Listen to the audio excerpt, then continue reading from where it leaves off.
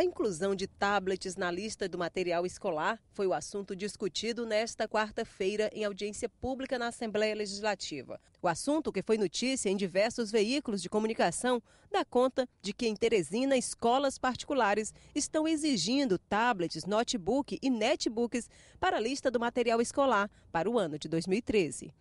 A deputada estadual Flora Isabel do PT, autora do requerimento da Assembleia Legislativa, se mostra positiva à inserção de equipamentos dinamizadores de informações nas escolas.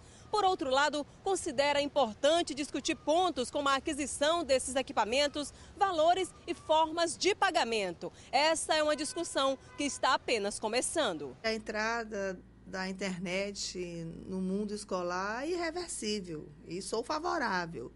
Acho importante porque as, nossos adolescentes querem, né, as famílias, os pais.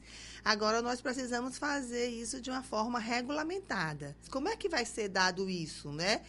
Nós não podemos, por exemplo, é, aceitar, nós não aceitamos que uns alunos, porque têm um poder aquisitivo maior numa sala de aula, possa usar e os outros, porque não têm, não usem. Então, nós vamos fazer uma audiência pública com as escolas, professores, com diretores, com o PROCON, com o governo do estado, com as direções das escolas para discutir de que forma pode ser regulamentado. Outra questão relevante é o limite de acesso nos tablets por parte dos alunos. A deputada estadual Flora Isabel, que no passado defendeu a permanência dos livros didáticos nas escolas por um período mínimo de três anos e o fim dos abusos nas listas de material escolar, garante que a nova discussão terá atenção total do Poder Legislativo no Estado. Vamos esperar o recesso voltar e vamos discutir de forma gradual, sem sem muita pressa, de forma que a gente possa ter uma legislação que venha contemplar os pais, não é,